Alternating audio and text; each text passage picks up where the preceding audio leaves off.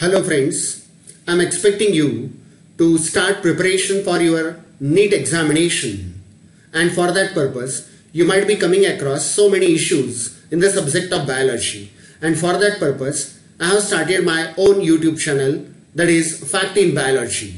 Now this fact in biology will definitely help you to understand the concepts thoroughly and in detail so that it become easier for you to prepare for the examination. Friends, myself Dr. Anand Joshi with contact number 82750 19621.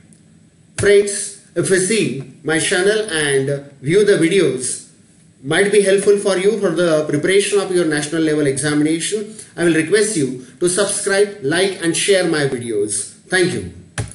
In the context, today we are going to see a very important chapter that has been newly introduced in your syllabus and it is titled Reproduction in Lower and Higher Plants. Friends, it is going to be a tremendously important chapter and it is a vast chapter because it encompasses entire plant kingdom for reproduction. It includes the cryptogams, the lower plants as well as the phanerogams or angiosperm, the higher plants. First part of this chapter, it is going to deal with the lower plants and then we'll see the details of the angiospermic reproduction. But before that, I would like to start with the actual definition of reproduction. The process by which organisms gives rise to young ones which are exact copies of themselves is called as reproduction. Now this is the most perpetuated definition, most acceptable definition. I will repeat this. The process by which organism gives rise to young ones which are exact copies of themselves is called as reproduction.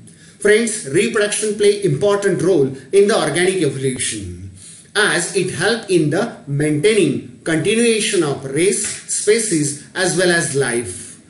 If we see the organic evolution, all the organism starting from amoeba up to the highly developed mammals, every group has adopted some sort of mechanism for reproduction. But these mechanisms of reproduction generally fall into two categories. The first one asexual reproduction and the second one sexual reproduction. First we will see asexual reproduction and then we'll proceed on to the sexual reproduction in detail. As far as asexual reproduction is concerned, it does not involve formation and fusion of reproductive cells, sex cells or gametes. Friends, mind it well that in asexual reproduction, formation and fusion of reproductive cells, sex cells or gamete that are the features of sexual reproduction. It is not required here. It is not practiced here. And all the progeny which are produced by asexual reproduction, they are genetically identical. And as they are genetically identical, many a time they are referred as the clones. And one more important thing for asexual reproduction is that it is an uniparental method. Mind it well, there is no male or female parent. Only one parent is there. It is neither male or nor uh, female, but it is performing the role of parent and the progeny will be produced from it. Actually, this asexual reproduction, it may occur by different methods. Some of them we are going to see in details. Starting with the first one, it is called as fragmentation.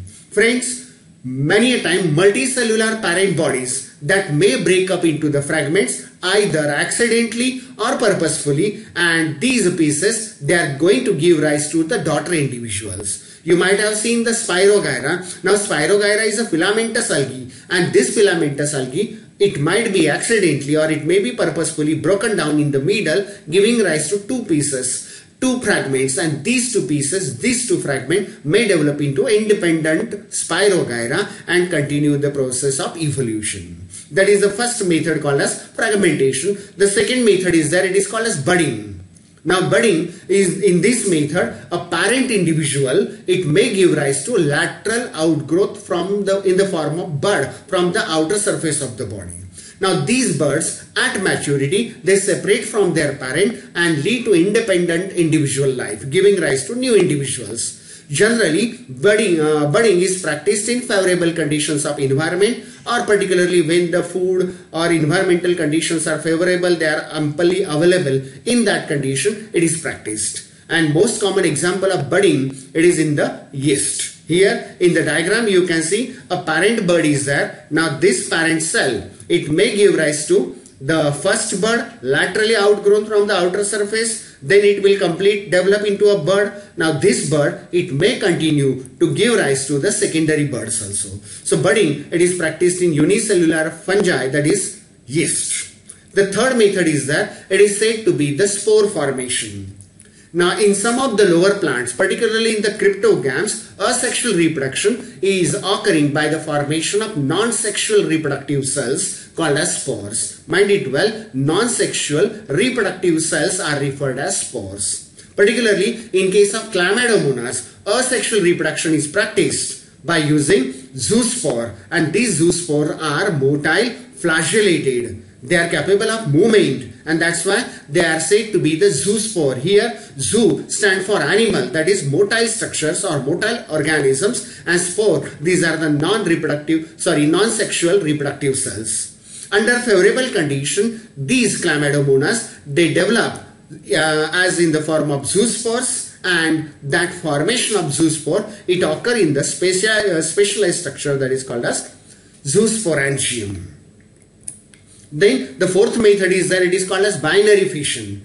Friends, this binary fission is actual asexual reproduction by separation of individual parent body into two new individuals. In binary uh, fission, parent cell or organism, it undergoes karyokinesis that is the first part nuclear division and then it is followed by cytokinesis that is cytoplasmic division. Here you can see the amoeba this is the parent cell and within the single cell, within the parent cell, the nuclear division is completed. Now this nuclear division, it will give rise to two nuclei. Now these are called as daughter nuclei. Now these daughter nuclei, when they are fully formed, the cytoplasm get extended, the plasma membrane get extended and then it is cut into the middle giving rise to the two individuals and we can say two daughter amoebulae can be produced. Additionally, it is also practiced in organisms like paramecium.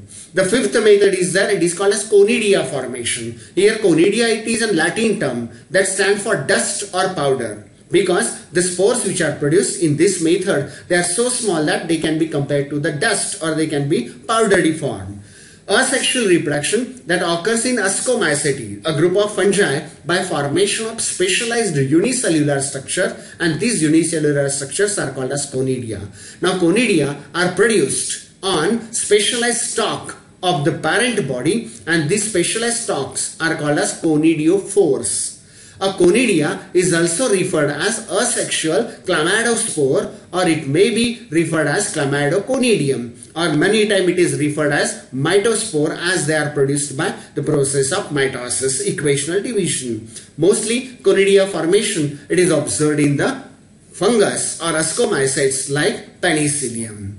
Then the sixth method is that it is called as formation of gemmule, gemmule formation asexually produced mass of cells, a group of cells capable of developing into an adult are referred as gemmules. Now these are many times as they are in the form of groups, they are called as swarm spores. Swarming means grouping together. Now gemmules always develop on the internal body surface of the parent individual. Mind it well, budding, it occurs on the external surface and gemmule formation, it occurs on the inner surface of the body. And many of the protists, bacteria and fungi, they have practiced this formation of gemmule and that is and in the form of we can say a specialized group of cells and within that group of cells there are archaeocytes. Now these archaeocytes, they are converting themselves into the capable potential reproductive cell in the favorable condition they may develop into the daughter individuals. Friends, these are the methods